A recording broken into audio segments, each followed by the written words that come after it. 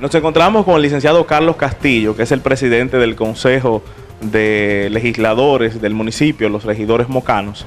Y nosotros eh, nos llegó la información, don Carlos, de que en Moca se pretende instalar un cementerio privado.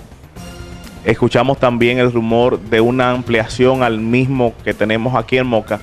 Y en torno a estos rumores queremos conocer cuál es la información correcta de ser cierto esta información. Sí, bien, gracias Alfonso, buen día. Eh, ciertamente eh, la extensión del cementerio municipal es una necesidad. Eh, no hay más espacio prácticamente para enterrar más difuntos. Como consecuencia de esto, hace unos días que el Consejo Municipal autorizó al señor alcalde Remberto Cruz a gestionar los terrenos anexos o en otro lugar para la ampliación o la construcción de nuevo cementerio. Como consecuencia de esto, eh, se, ha se, ha venido hablando con unos propietarios de terrenos eh, anexos o conexos a, lo que es el cementerio actual y ciertamente no hemos podido llegar a, ningún tipo de acuerdo. De, por otro lado, señor alcalde ha establecido eh, contacto con Proindustria, que también tiene unos, terrenos eh, próximos al cementerio y las acciones están muy adelantadas, podemos comunicar a la, ciudadanía que la decisión del Consejo Directivo de Proindustria eh, acordó eh, pasar a modo de venta al Ayuntamiento de Moca los terrenos contiguos al cementerio que le pertenecen a ellos.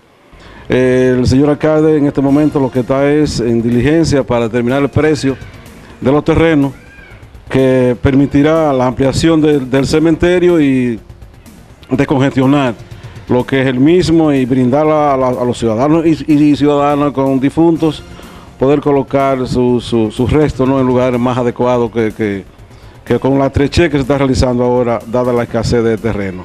Con relación a la, construcción de un cementerio privado a nivel de Moca, dentro de las conversaciones que sosteníamos con los empresarios dueños, de la tierra que pertenecen a, que están próximas a la zona franca, realmente la idea era comprarlo, comprarle esos terrenos, pero no pudimos llegar a ningún tipo de acuerdo porque eh, los propietarios son demasiados, tú sabes que la decisión a veces entre muchos se hace un poco difícil y ciertamente no se pudo, pero de que de construir un cementerio nuevo acá a nivel de la localidad, pues nosotros no, tenemos así mucha información, eh, no, no, hasta, el, hasta el ayuntamiento no ha llegado ningún tipo de información, ¿cierto?